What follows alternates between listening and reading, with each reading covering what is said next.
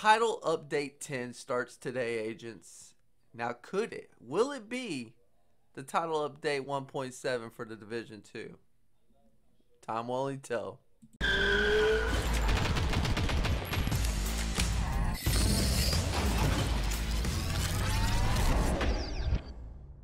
Hey y'all, welcome on IGY6 Games, the gamer channel that brings you a variety of entertainment and content. Bo here in your ear. Before I kick things off, I'd appreciate the love by y'all sharing and hitting those icons that need the click. And with that said, check out the social medias where I post daily and keep in touch with followers. Now let go. Today's video is about covering the week leading up to the release of Season 2, which drops Tuesday, June 23rd. So from the 16th, let's get going. And the first thing is new exotics, new weapons, new gear, new sets. Let's cover exotics first. We have the SRS sniper rifle, which is called the Mantis. It has interesting talents. I'm sure y'all are well equipped and well researched to know what all the talents and perks are. I'm just going to keep going with the shit that's being dropped. The mask is called Vile. Very interesting mask for status and weapon uh, damage dealing. That's a mask I'll be checking out, hopefully finding real quick and in a hurry. Real quick, real fast and in a hurry. Now we have new gear sets being dropped. Now, just because it's not season 2 doesn't mean the new drops aren't dropping yet. Everything's been added to the open world to the drop loot drop system.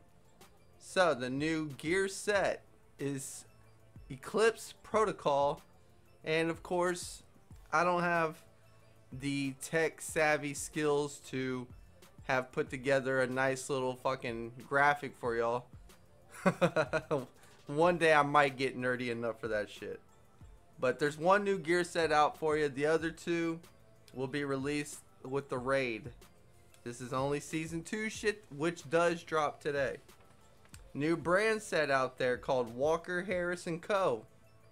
Of course, Walker Texas Ranger, me being from Texas. But I'm not that interested in it. I mean, 5% weapon damage, 5% damage to armor, 5% damage to health. Uh, I, I feel like it should be a little bit higher. Who knows, maybe the one piece set might. I don't know, I'm to fucks with it and try to make it happen. The new named weapons, we got two here. We have the mechanical animal, which is the SIG 556. And it comes with the future perfection weapon talent and I'm sure y'all are well aware of them. Harmony for the Resolute Mark 47 LMG. That comes with perfectly in sync. And I'll cover these new talents in a little bit. New named gear.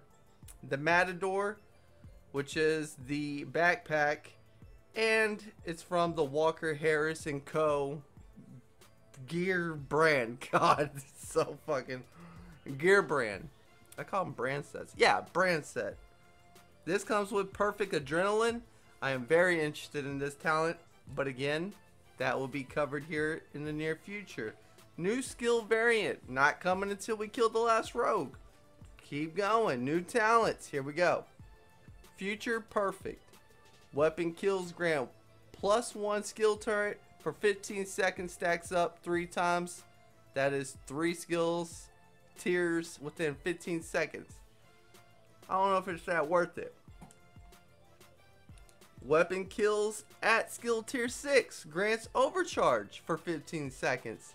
Now we don't have to just throw a fucking nade from the Costa backpack. Love it. This might be something I can fucks with with that one.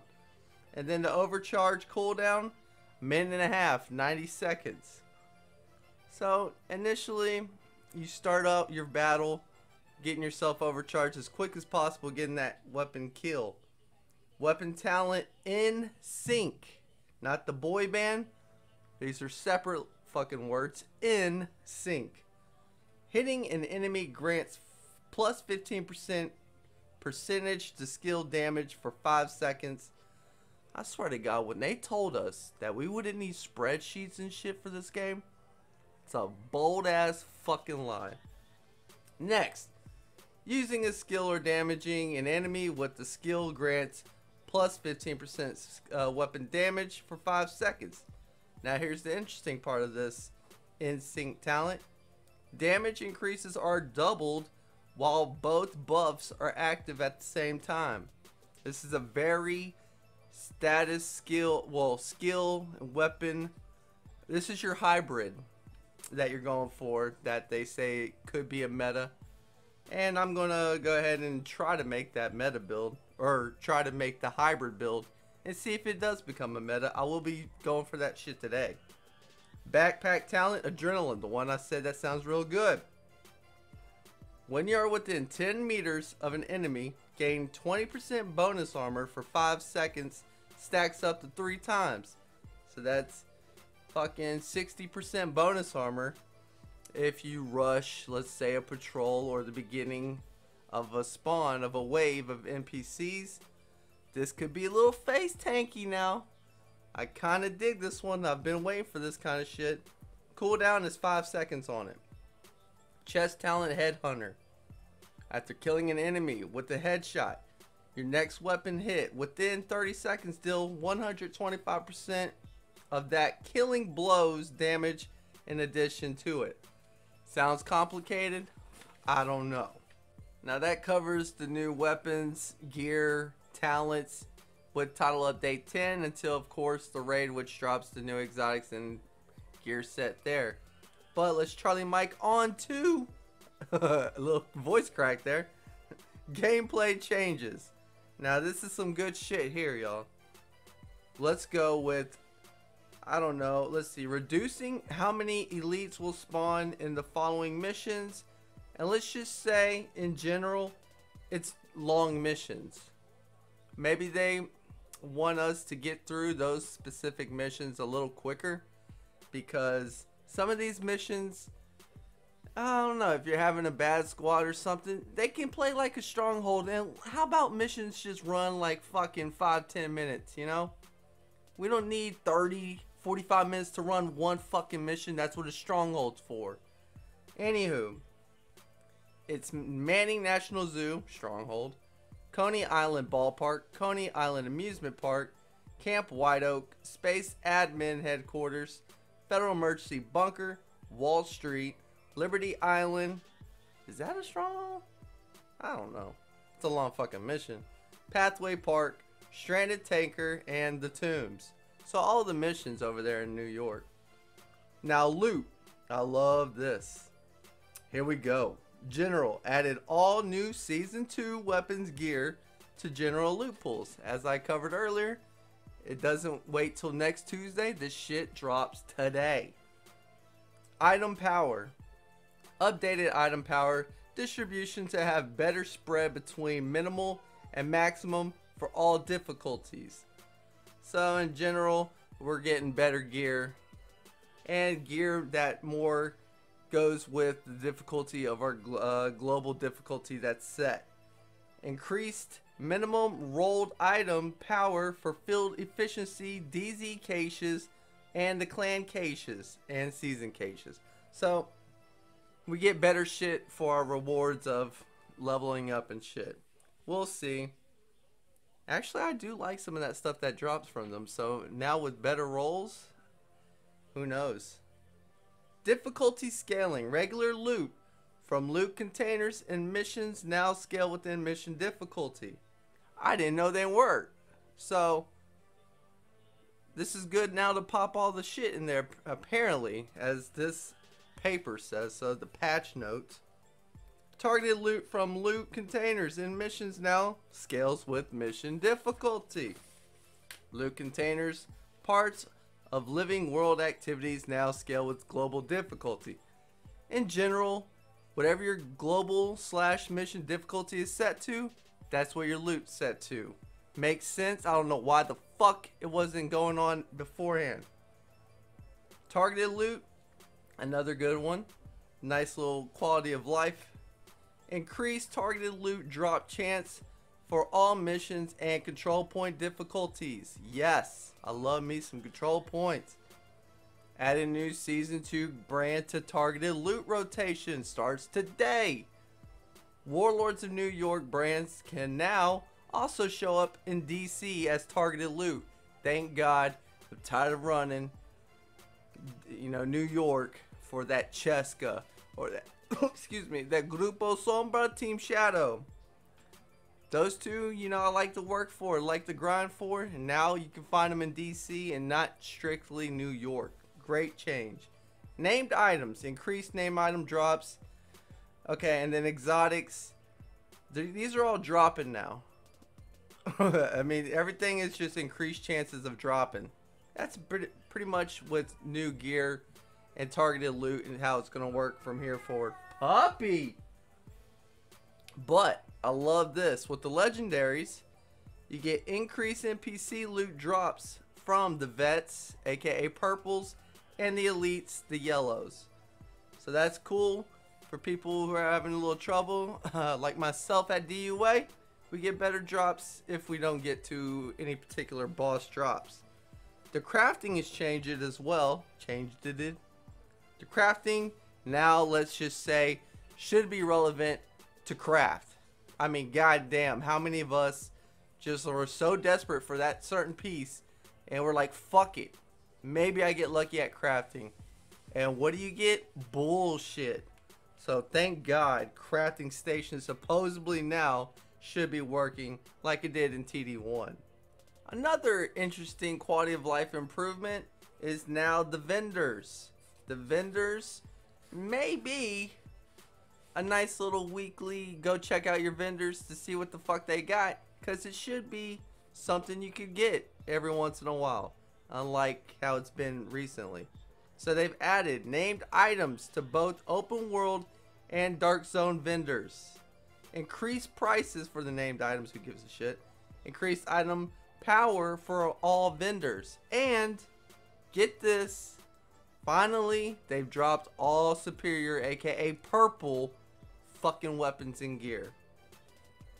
Um, Rogue Agents encounters. This will help us when Season 2 starts and we're going for the leagues with those time trials. They no longer fucking interrupt us with the missions.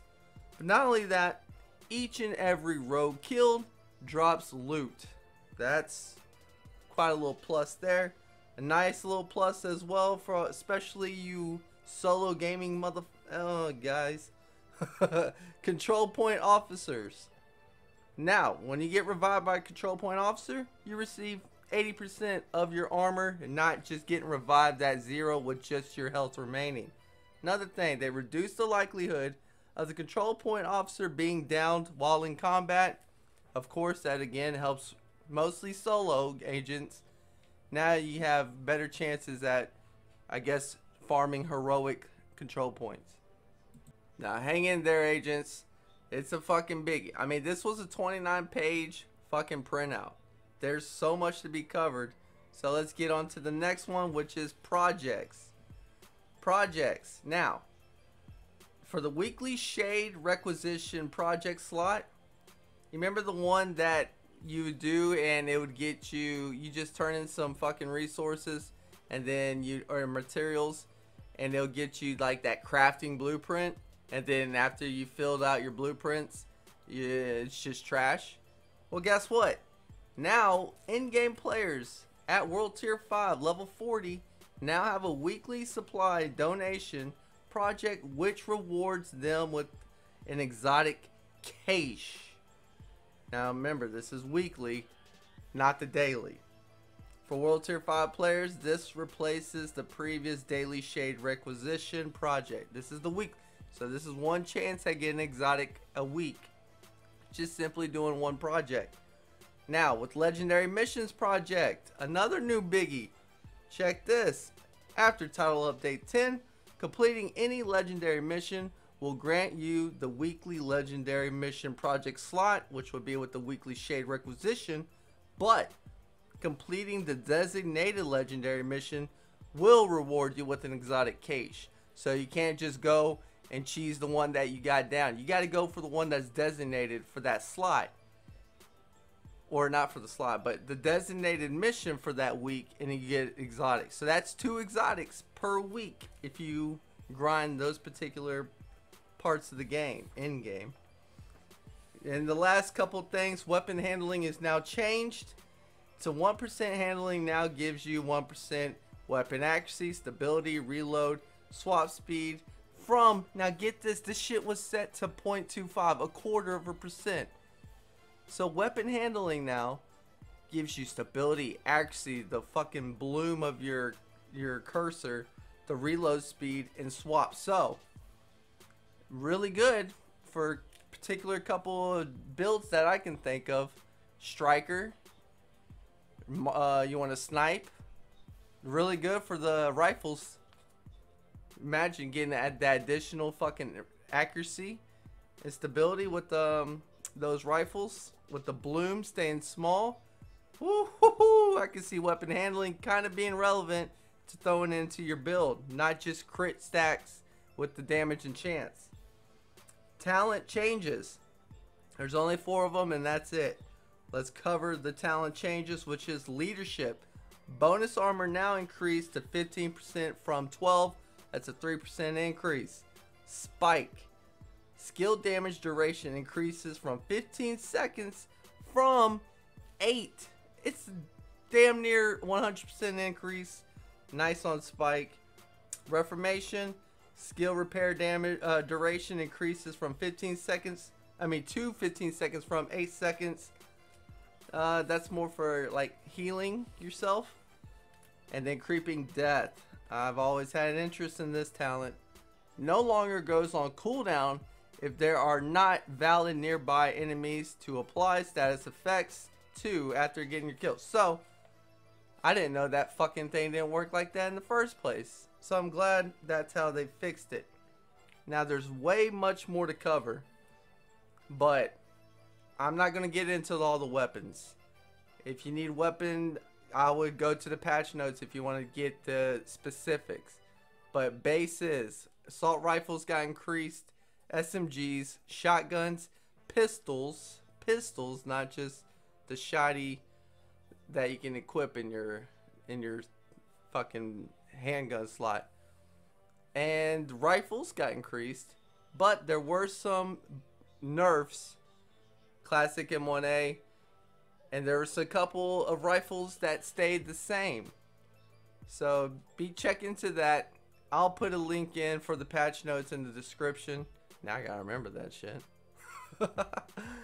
and yeah, all the weapon changes with the buffs and nerfs. Other than that, all the new shit drops next week, next Tuesday for season two, and then the following week is the Raid 2 Iron Horse. A lot of shit to be done here in the future. So get at it, agents. Let's see if this is a big fix and balances the game. I hope it does. I mean, I'm kind of digging. I love the season. Just the whole idea of seasons. It kept me in the game the past three months. I hope season two does the same. I hope shit doesn't get broken because every time they try to redo shit, shit gets broken. Let's pray upon. I mean, thank God for all the hard work they did having to work from home. But let's just pray they didn't fuck the game up. Still no outro, y'all. When I get that 1K subscriber hit, though, I will be giving out a free back button attachment for the PlayStation 4 controller. Other than that, please support the goddamn channel slash me. And as always, I say, peace.